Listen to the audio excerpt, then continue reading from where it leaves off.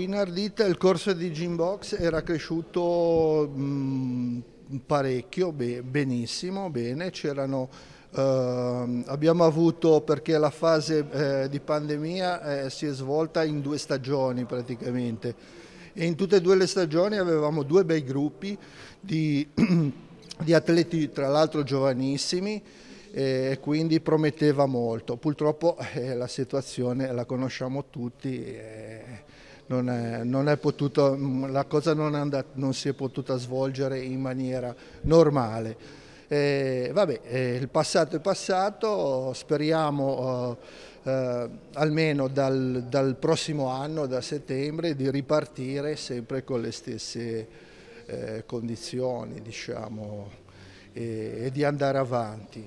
Ehm... Ti racconti la gym box esattamente, qual è, quali sono le sue peculiarità? Ok, la, la gym box diciamo che può essere ehm, vissuta con più filosofie, diciamo.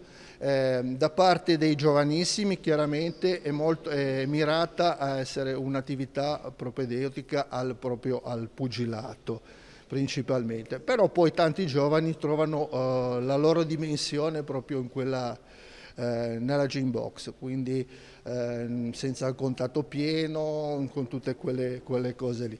Però eh, hanno sempre l'adrenalina, riescono a crescere, a far bene, a imparare, eccetera, eccetera.